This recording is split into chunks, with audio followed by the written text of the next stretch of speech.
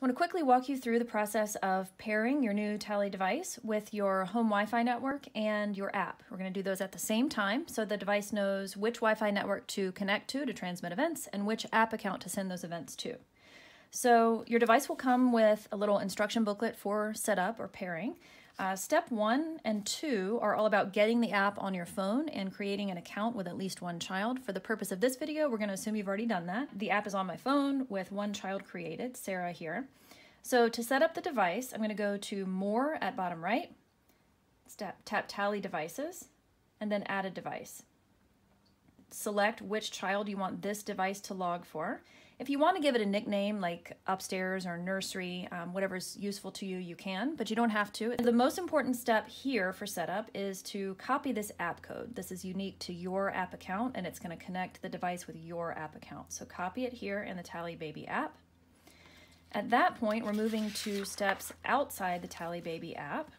You're going to come to the device and you're going to hold down the sync button. This is the little button at bottom right. Hold that for eight seconds. After eight seconds, you'll see all the event buttons light up in white and the sync button that I'm holding down will be lit in orange. That means the device is ready for pairing. At that point, we're gonna, outside the Talli Baby app on your phone, you wanna go to Settings, Wi-Fi.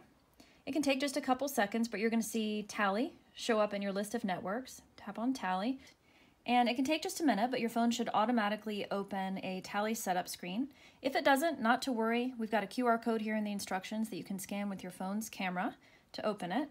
But here, the first thing you want to do is tap on the Wi-Fi network you want this device to use. You're going to type in the password for that network.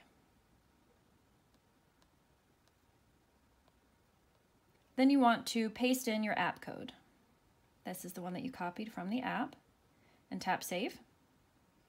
So those credentials are now saved to this device and when it's successful, it will flash green a couple of times. You should be ready to go. So on your phone, you want to come back to the Talli Baby app and the screen now shows this device was paired as of today. I'll save that